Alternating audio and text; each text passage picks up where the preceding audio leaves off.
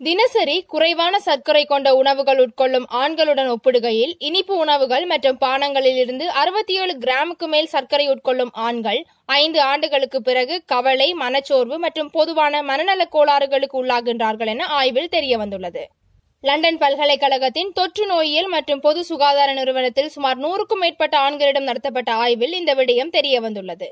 மேலும் ஆண்களின் மனநிலைகளில் மாற்றம் நிகழும் போது அவர்கள் அதிக அளவிலான சர்க்கரை கொண்ட உணவுகளை உட்கொள்வதாகவும் இது அவர்களுக்கு மன அழுத்தத்தை தருவதாகவும் கண்டுபிடிக்கப்பட்டுள்ளது.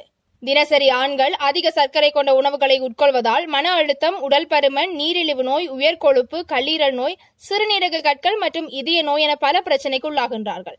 இதனால் தினமும் உண்ணும் உணவில் பத்து சதவீத சர்க்கரை மட்டும் சேர்த்துக் கொள்ள வேண்டும் என பரிந்துரைத்துள்ளனர்.